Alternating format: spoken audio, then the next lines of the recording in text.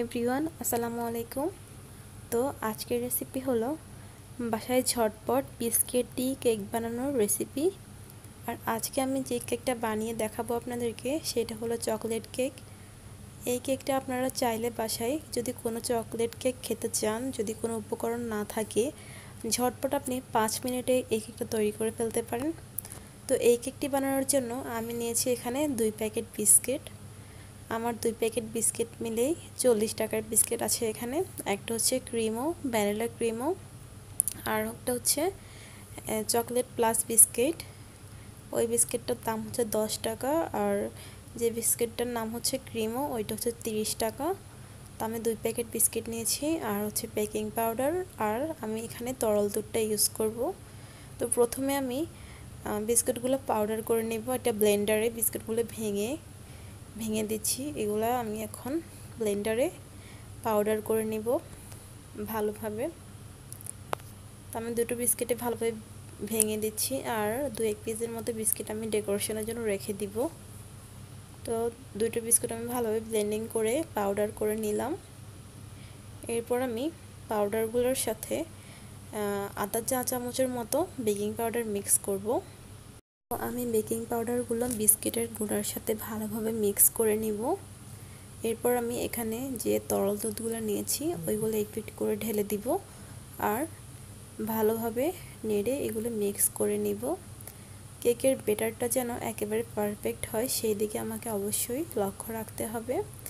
আমি তার জন্য পুরোপুরি দুধটা মিক্স করব না একসাথে। আমি একটু একটু করে লিকুইড দুধটা ভালোভাবে মিক্স করে নিব। তো ভালোভাবে মিক্স করার পর আমি ব্যাটারটা দেখে বুঝতে পারব যে আমার ব্যাটারটা কতটুকু পারফেক্ট হয়েছে। তো আমি এটা ভালোভাবে মিক্স করে নিচ্ছি। তো আমার বেটারগুলো পারফেক্টভাবে মিক্স করা শেষ হলে আমি এখন ওভেনে যে ট্রেগুলো ব্যবহার করি আমরা সাধারণত কেক বা বিস্কিটের জন্য, তো এটা হচ্ছে কেকের ট্রে আমি কেকের ট্রেটা নিয়েছি। আমি চুলেই কেকটা বানাবো ওভেন ছাড়া। তো আমি এখানে কেকের জন্য এক ধরনের পেপার আছে, ফুলের মতো। বাটার পেপারে বলা যায় এগুলো, ছোট ছোট ফুলের মতো ডিজাইন করা। তো আমি এখন কাগজগুলোর মধ্যে একটু তেল ব্রাশ করে দিব, যাতে করে কেকটা সুন্দরভাবে উঠে আসে। আর এখানে বারোটি মিনি কেক হবে ছোট ছোট। তো আমি কেকের ব্যাটারগুলো একটা ছোট চা চামচের সাহায্যে এক থেকে দেড় চামচের মতো দিয়ে দিব। আর আমি ব্যাটারগুলো দেওয়ার সময় একটা জিনিস লক্ষ্য রাখতে হবে আপনাদের, তা হচ্ছে কেকের ব্যাটারগুলো কিন্তু একেবারে পুরোপুরি দেওয়া যাবে না। কেননা কেকগুলো যখন চুলায় বেকিং হবে, তখন কিন্তু এটা ফুলে আরও বড় হয়ে যাবে একটু হলেও। তা আমি সেই ক্ষেত্রে ব্যাটারগুলো ওই পরিমাপ করেই দিচ্ছি, পুরোপুরি দিচ্ছি না। দেওয়া শেষ হলে আমি এখন ডেকোরেশনের জন্য উপরে বিস্কিট যে রেখেছিলাম, ওইগুলো একটু ভেঙে ভেঙে দিয়ে দিলাম। আর একটা ফয়েল পেপার দিয়ে পুরো ট্রেটা মরিয়ে নিলাম। এখন আমি এটা চুলায় বেকিং হওয়ার জন্য বসিয়ে দিব। আমি সুন্দরভাবে ফয়েল পেপার দিয়ে ভালোভাবে ট্রেটি ঢেকে নিচ্ছি, যাতে করে ভিতর থেকে কোনো বাতাস না বের হয়। তাহলে কিন্তু কেকটা একেবারেই হবে না। তো এই তো পাঁচ মিনিটের কম সময় আমার কেকগুলো হয়ে গেল ঝটপট।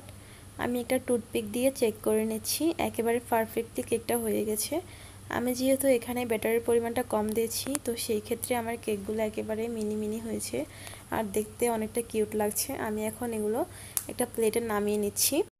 তো চুলায় যদি ঝটপট কেক বানিয়ে খেতে চান, তাও আবার চকলেট কেক তো খুবই সহজ একটা ট্রিক্স ফলো করলে কিন্তু আপনারা এত সুন্দর চকলেট কেকগুলো বাসায় বানিয়ে নিতে পারেন। আর এই মিনি কেকগুলো আশা করি বাচ্চাদের খুব বেশি পছন্দ হবে।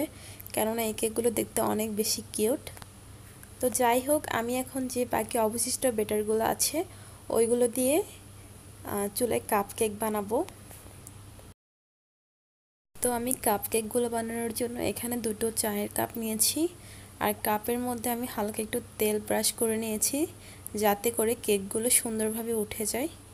তো আমি যে বেটারগুলো ছিল এক্সট্রা ওইগুলো আমি দুটো কাপে দিয়ে দিলাম।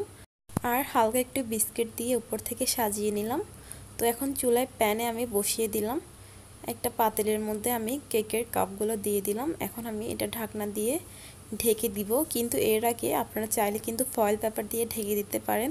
তাহলে কিন্তু আরও বেশি ভালো হয়। কেননা ফয়েল পেপার দিয়ে ঢেকে দিলে ভেতর থেকে কোনো প্রকার বাতাস বের হওয়ার সন্দেহ নেই। আর একটা কথা হচ্ছে যে, আপনি কিন্তু পাতিলটা সরাসরি চুলায় বসাবেন না। আপনি পাতিলটা চুলায় একটা পুরনো তাওয়া থাকলে তাওয়া দিয়ে দেন। এর উপর আপনি পাতিলটা বসিয়ে দিবেন। তো আমি 10 থেকে পনেরো মিনিট পর কেকটা চেক করে নিচ্ছি। আমার কেকগুলো মাসাল্লাহ একেবারে ফুলে উঠেছে। আমি এখন একটা টুথপিক দিয়ে চেক করে নিচ্ছি। তো আমার দেখে মনে হচ্ছে কেকগুলোর ভিতরে এখনও হালকা একটু বেটার রয়ে গেছে। তো সমস্যা নেই, আমি এখন ফয়েল পেপার দিয়ে ঢেকে আরও পাঁচ মিনিটের জন্য রেখে দিলে কিন্তু আমার কেকটা ভিতর থেকে হয়ে যাবে। যেহেতু এগুলো ছোট কাপ কেক, তো সেই ক্ষেত্রে কোনো প্রবলেম নেই। এটা হতে কিন্তু সময় লাগবে না। পাঁচ মিনিট পর আমি চুলা থেকে কেকগুলো নামিয়ে নিলাম।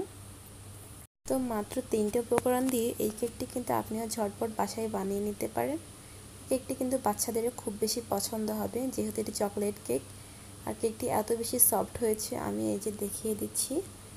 অনেক বেশি সফট আর ফ্লাফি হয়েছে দেখতে। আমি কেকটা এখন ছুঁড়ে দিয়ে কেটে দেখাবো আপনাদেরকে। তো আমার তো কেক বানানো শেষ। রেসিপিটি ভালো লেগে থাকলে অবশ্যই আপনারা বাসায় ট্রাই করে দেখতে পারেন। ঝটপট তিনটি উপকরণ দিয়ে কেক বানানো। আর যাই হোক, সবাই অনেক অনেক ভালো থাকবেন আর সবার জন্য দোয়া করবেন। আমার চ্যানেলটি যদি এখনও সাবস্ক্রাইব করে না থাকেন, অবশ্যই চ্যানেলটি সাবস্ক্রাইব করে দিবেন। সবাই ভালো থাকুন, আল্লাহ হাফিজ।